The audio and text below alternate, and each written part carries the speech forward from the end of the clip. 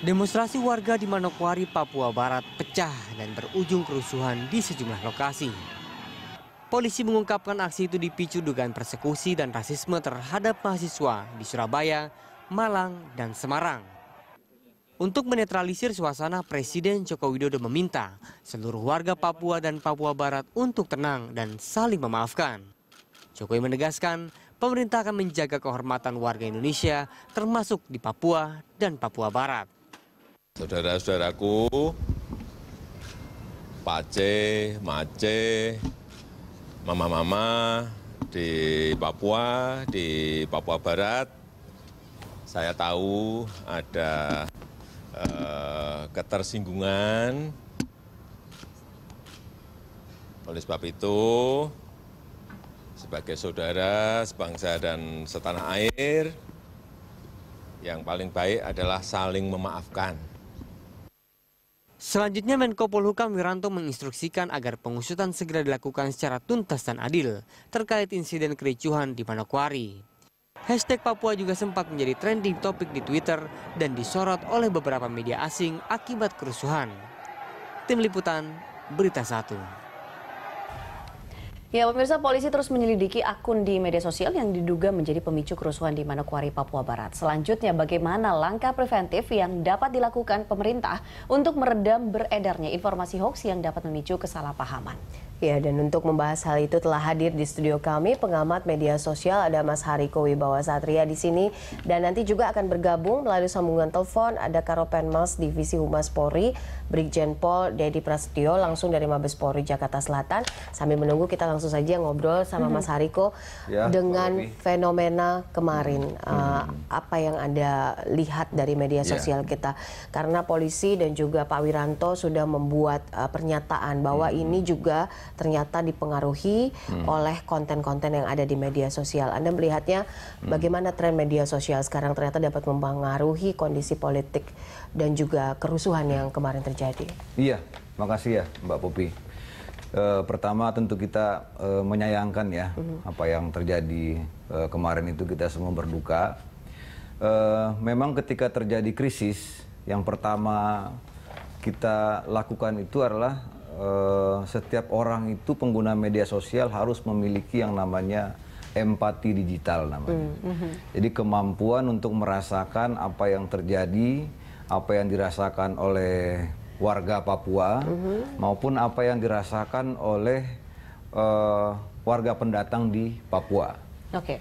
Nah, kemudian eh, kemudian di kepala kita, di hati kita itu memang harus ada budaya damai dulu. Kalau media sosial ini kan hanya sekedar tool saja ya, alat saja ya. Nah, kemudian selanjutnya ketika menggunakan media sosial, apa pun yang kita unggah, apa pun yang kita posting, itu tujuannya adalah untuk meredakan ketegangan. Oke. Nah, jadi kalau kita lihat dalam uh, waktu kuliah itu ada istilahnya jurnalisme damai ya. Bukan kera- bukan berarti kita menyampingkan fakta ketika memposting itu, tetapi kita menonjolkan fakta-fakta yang mampu untuk meredakan ketegangan. Jadi ukuran konten itu bukan golongan, tapi kepentingan nasional. Bisa jadi konten yang kita unggah itu menaikkan uh, nama kelompok kita. Ya. Tapi apakah itu merugikan kepentingan nasional? Nah, di situ ukurannya. Oke, nah kalau kita lihat dari kemarin eh, ketika terjadi situasi eh, kemarin, sebenarnya kita juga ingin tahu mungkin tidak semuanya melihat atau tidak semua lini masa Ya. eh, bisa memotret apa, apa yang terjadi. Mm, kalau kemarin dari pantauan Mas Hariko dan teman-teman itu sebenarnya bagaimana sih situasi di lini masa? Bagaimana situasi di media sosial? Ya. Kalau saya melihat situasi yang pertama yang sampai hari ini yang perlu kita sembuhkan itu, pertama memang ada saling tidak percaya itu masih tinggi. Oke. Ya. Dampak dari pilpres itu masih ada, sehingga ada kecurigaan satu kelompok bahwa kelompok lain itu kurang nasionalis.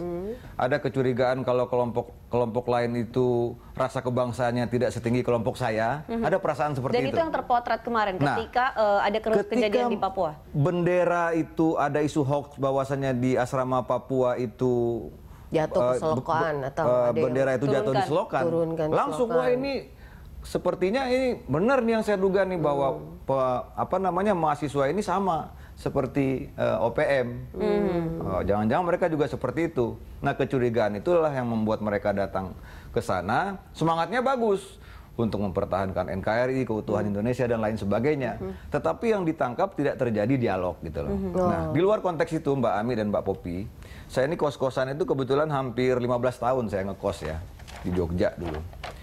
Memang yang harus di di kita sadari juga terutama untuk pemerintah daerah maupun pemerintah daerah asal mahasiswa, sebaiknya memang asrama mahasiswa itu eh, mahasiswa baru itu tidak tinggal di asrama tetapi berbaur dengan teman-temannya di di kota setempat itu gitu loh. Karena saya melihat juga di Jogja bukan hanya Papua, tapi hampir semua daerah itu punya asrama mahasiswa sehingga mahasiswa itu sudah jauh-jauh datang ke satu tempat, kemudian mereka bergaul lagi dengan komunitas Jadi mereka yang ada di berbaur situ. tidak hanya di misalnya dari satu daerah aja gitu. Iya, sebaiknya memang ada ada ada pertemuan rutin antara terutama untuk kota-kota yang berbasis mahasiswa ya, seperti Malang, kemudian Semarang, Jogja, Jakarta ini memang ada pertemuan rutin entah kepala daerah, entah eh, kepala dinas yang mengumpulkan mereka sehingga ada interaksi gitu loh.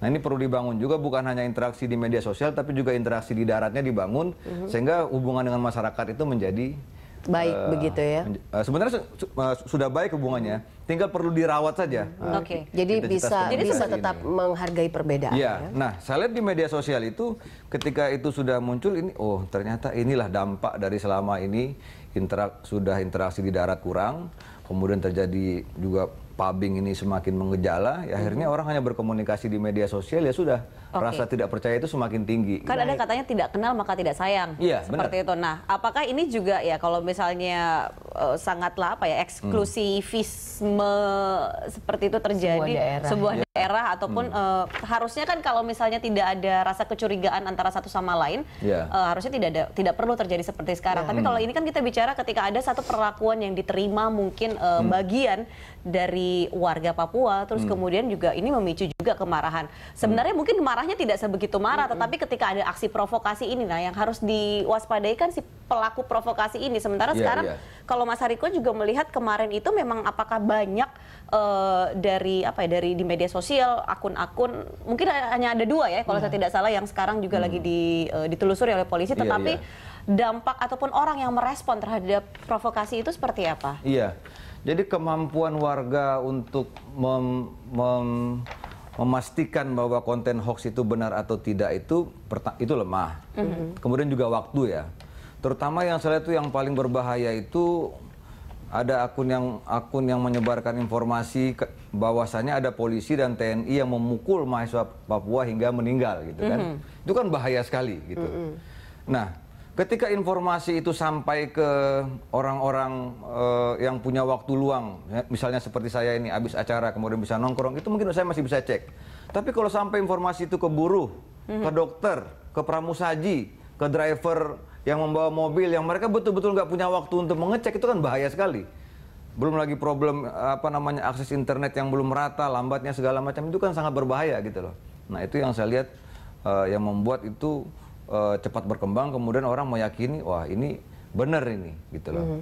Nah saya kembali lagi ke yang tadi itu. Kita udah jauh-jauh hari mengingatkan bahwasannya kan ada juga kan pemimpin kita yang bilang nggak apa-apa mereka itu berdebat di medsos caci maki yang penting nggak berkelahi kan ada juga yang bilang seperti itu.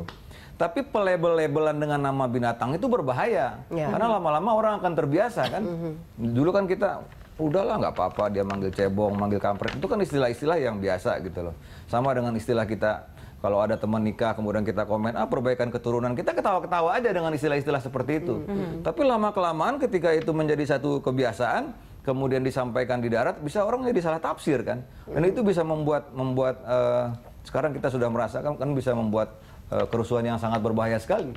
Karena orang di media sosial itu dari sisi dari sisi usia, dari sisi pendidikan ketika melihat sesuatu yang terjadi itu mereka tidak melihat latar belakangnya apa yang yang mereka lihat itu saja. Gitu loh. Oke, kalau kita lihat tren media sosial hari ini, trending topiknya ini banyak kan di framing, ada juga yang memframing kepada sebuah organisasi keagamaan yang bilang bahwa ini adalah orang yang ada di balik rusuhnya Manokwari. Anda melihatnya seperti apa? Tadi eh, Mas Hariko bilang bahwa Ya. kadang-kadang juga memang eh, ada hal-hal yang memang di framing secara khusus begitu, khususnya misalnya tentang NKRI atau menjatuhkan Ya. pilpres misalnya, Iya, contohnya iya. itu. Nah, soal hoax yang diorganisir oleh pihak-pihak tertentu ini Anda melihatnya seperti apa saat ini di Indonesia? Iya. Kalau di kita kita melihat ada upaya memang sekelompok se- beberapa akun untuk menjatuhkan satu kelompok dengan menggunakan isu Papua ini. gitu. Ada juga kelompok yang menggunakan isu Papua ini, misalnya mereka mengatakan, wah belum dilantik aja sudah nggak stabil gitu. Jadi upaya menjadikan men- yang paling buruk itu adalah menurut saya adalah menunggangi kasus Papua ini untuk menyampaikan isu yang dia inginkan atau menunggangi kasus eh, kerusuhan di Papua ini untuk mengkritik yang yang eh, target yang dia sasar gitu loh. Jadi se- sehari dua hari fokusnya itu adalah untuk menenangkan situasi, bukan untuk menyampaikan hal-hal yang eh, justru memperburuk keadaan gitu loh. Jadi hentikanlah yang namanya saling tuding menuding, bahwasanya kelompok inilah yang eh, apa namanya penyebab terjadinya penyebab terjadinya kerusuhan. Karena ketika sebuah kelompok itu dituding, dia akan balik menuding lagi gitu loh. Oke. Nah, yang akan senang dengan situasi seperti ini adalah orang-orang yang memang punya agenda untuk Papua itu biar merdeka. Oke, baik. Ketika sama kita ribut, ya mereka senang itulah tujuannya kan. Mhm. Baik, oke. Jadi jangan sampai memanfaatkan kerusuhan Papua menjadi tujuan agenda pihak tertentu. Iya. Begitu ya. Iya. Jadi Jadi kita atau harus jangan sampai mau dimanfaatkan. betul. Iya. Kita harus bisa men- mensortir atau Hmm. men, apa namanya? Menyaring sebelum men-sharing. Kemudian Gitu ya. yang paling penting juga identitas kita ini kan apa gitu. Oke. Oke, baik. Kita kalau ingat kata Hans Morgenthau itu kan identitas itu kan sumber kepentingan. Iya. Jadi kalau orang lebih dominan identitas kedaerahannya maka dia akan tersinggung hal-hal yang berbau kedaerahan. Nah, berarti itu harus balik lagi identitasnya apa? Karena Tapi harus kalau identitas dominan Indonesia. identitas dia sebagai warga negara Indonesia, maka dia akan bicara soal Oke. kepentingan Nah, nasional. nanti kita akan eh, bahas lagi ini lebih jauh, termasuk juga kita akan coba menghubungi kembali Pak Dedi, eh, Karo Penmas Mabes Polri. Mabes Polri. Di segmen berikutnya, pemirsa kami akan segera kembali.